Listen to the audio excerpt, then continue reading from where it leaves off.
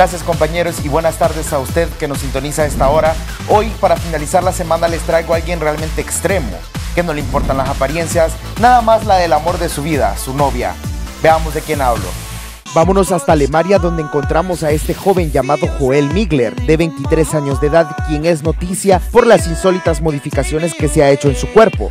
Joel se ha colocado expansores en ambas mejillas, lo que le ha dejado dos agujeros en la cara a través de los cuales se le pueden ver encías, dientes y lengua. Las razones, poder sorprender a su novia con un beso inesperado, comer por tres sitios diferentes y para él el dolor excesivo es una excelente manera de sentirse vivo.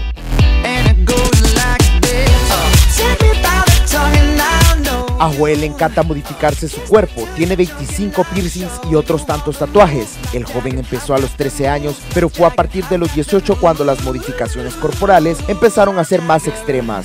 Tiene también otras modificaciones en su rostro, como expansores en la nariz, en la boca y aros en la parte superior del pómulo. Migler aseguró que sus modificaciones hasta cambiaron la manera que tenía de ingerir alimentos. Solo puede comer pedazos pequeños de comida, pero explica que no se trata de un problema mayor y para tomar debe usar tapones.